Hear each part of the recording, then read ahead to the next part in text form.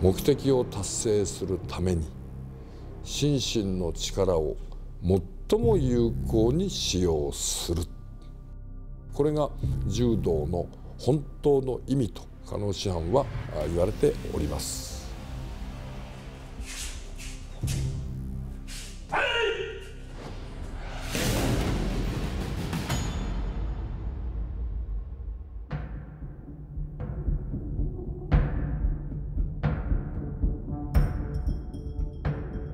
私は村田直樹と申します。行動館柔道八段というふうに言います。行動館という場所は柔道を修行練習する場所です。1882年初めて行動館という道場が設立されました。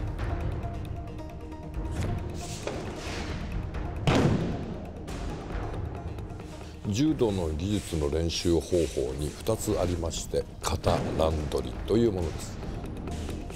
お互いに約束をしてこうすればこうするこうすればこうするっていう安全のうちに勉強したものが型です。加納治五郎という人は行動館を創設して9つ9種類の型を制定いたしました。乱取りの競技は歴史が古いのですが型の方も競技として行われるようになりました。一番大事なところはその技の構造をきちっと合理的に示しているかいないか。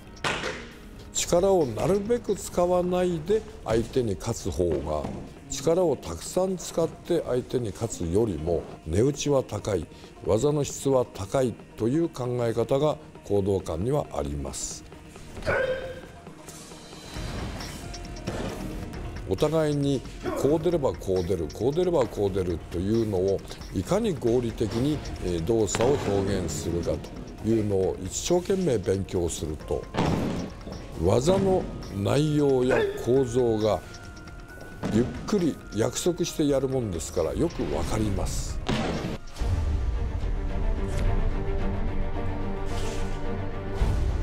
型をたくさん練習することによって正しい姿勢美しい姿勢を保とうとする心が養われますとそれが内面を豊かにすると。そこで加納治五郎という人は型乱取りというこの2つをやりなさい。